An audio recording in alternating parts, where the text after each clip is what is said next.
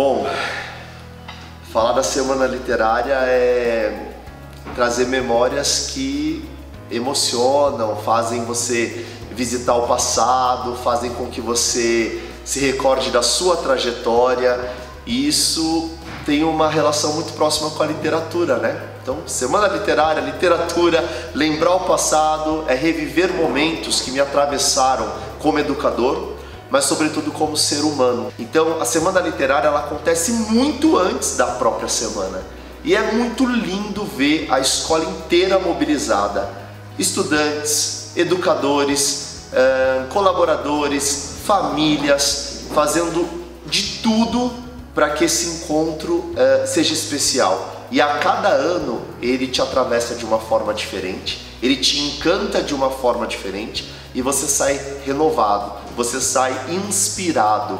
Bom, a minha história com a Semana Literária primeiro começou como educador, como professor. Eu sempre era convidado para contar histórias e isso sempre foi fantástico, porque todos os anos a ideia era se reinventar e nessa reinvenção eu também tinha a oportunidade de criar novos laços com os meus alunos e alunas, com as famílias, com os meus colegas. Então, eu tenho uma história muito engraçada.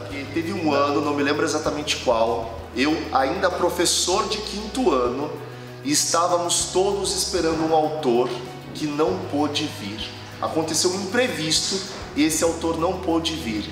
E nesse momento eu estava de janela na sala dos professores. Eu tinha, meus alunos estavam fazendo aula de educação física e eu estava corrigindo provas. Pois bem, eh, neste momento o autor não vem aquela correria o que vamos fazer e aí me convidam para vir contar uma história.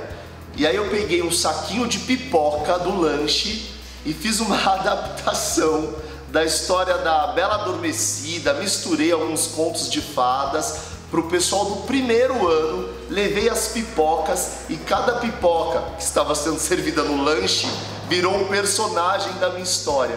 No final, nós fomos todos para a cozinha estourar pipoca e comer juntos e foi uma grande celebração. Que era para ser um improviso, virou um momento inesquecível da semana literária para mim.